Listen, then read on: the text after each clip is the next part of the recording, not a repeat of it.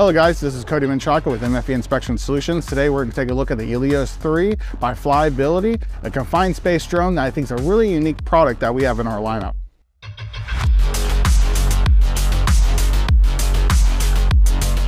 As promised, the Elios 3, the third generation from the Elios lineup with new features, some new redesign, and some really cool stuff to see. Things like redesigned lighting system with now 16K lumens rather than 10, you now have a LiDAR puck integrated in the back for capabilities when it comes to point clouds, as well as a port backside integration. You can now have future sensors for open expansiveness of the product. Alongside with that, the cage redesign for better impact tolerance. What you may see right off the bat is a total redesign of the cage overall. What this allows is a key feature to have unobstructed view of the forward-facing camera. This allows a 180 degree unobstructed of the cage inside of what you may be viewing or what you may record or what images you may get on the back end. What you see here is the new Elios 3 remote control. See the design is quite different than prior. The main difference right off the bat you can see it's not it's not a DJI remote. It's not utilizing Lightbridge 2 like Elios 2 did.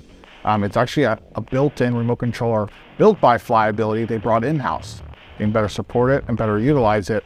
Um, what's really cool and unique about this is actually a longer range depending on environment. So as you may know in confined space, range and transmission is everything. So this allows better range in different various amounts of confined space environments. Um, what it also utilizes is a large Samsung tablet with Cockpit 3 built in. So you have a larger surface of viewing area because you're now looking at things real time, right?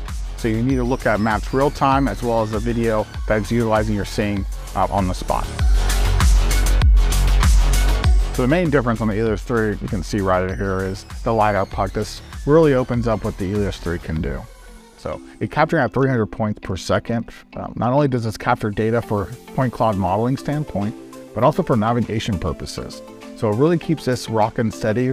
Predecessor of Elios 2 is that it leverages the LiDAR puck to, to know its space. So building the world around it as it flies. So this gives you rock stability like you would be flying an external drone in the internal environment. But not only does, does it capture data from the navigation and point cloud purposes, but also it continuous scanning. So as you're flying, no matter what, the LiDAR puck is going around and around, capturing data points at the 300 points per second perspective, the entire flight. So as you're flying, it's constantly capturing. The point cloud is actually leveraging is SLAM-based technology. So traditionally, you may hear of LiDAR technology or scanning technology based around terrestrial scanning. That's going to be quite more accurate because it's stationary. What SLAM does, you can actually capture as you move. So it's not going to be as accurate as terrestrial scanning, but it can be accurate in most cases when it comes to what this is trying to achieve. Not only is it capturing, but also navigating what a lot of people don't understand, all drones don't need GPS. This is how the Elios flies indoors. It leverages sensors around it as well as a puck to maintain its space in the environment. That's how you get the stabilization. GPS can't penetrate confined space. GPS can't penetrate storage tanks. It can't penetrate a mine. What this does, it leverages the sensors on it to build a world around it as it flies.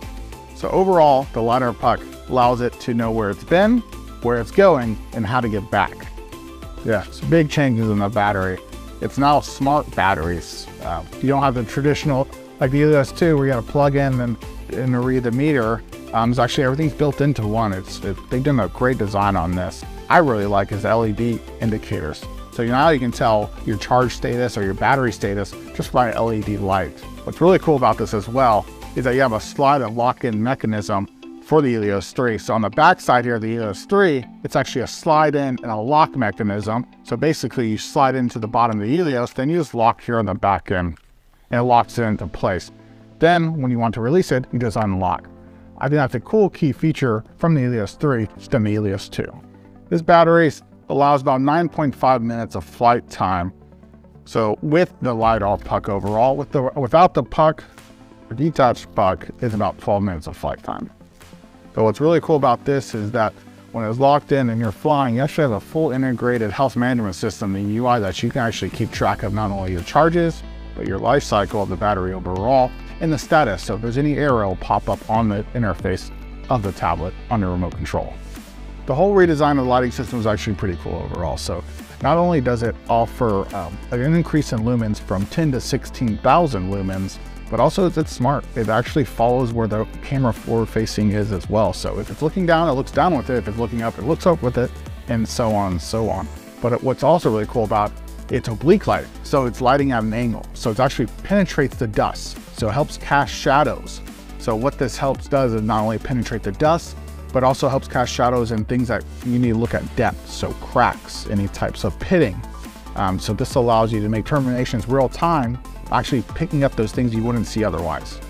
So what I think is a really genius idea that Flyability did is open up the backside ports. So what this allows is future integrations of various sensors based on use cases. So right now you use a LiDAR, but endless counts of sensors that you may be able to use in the future, like gas meters or, you know, gas detection sensors. I think it's important things for the ecosystem, especially drones, to, to open up port side to allow those future integrations. So then you don't have to keep buying the next version. The next version is coming out every single month. It's actually a platform that can be built upon. Um, so I'm very excited to see what comes in the future with this open port system by Flyability.